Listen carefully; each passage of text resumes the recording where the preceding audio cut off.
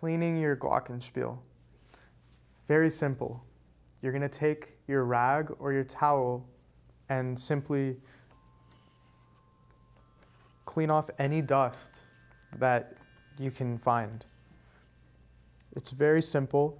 If you have a case for your Glockenspiel, like I have right here, you can also clean off those areas. And if anything has gathered in between the keys, you can dust those areas off as well.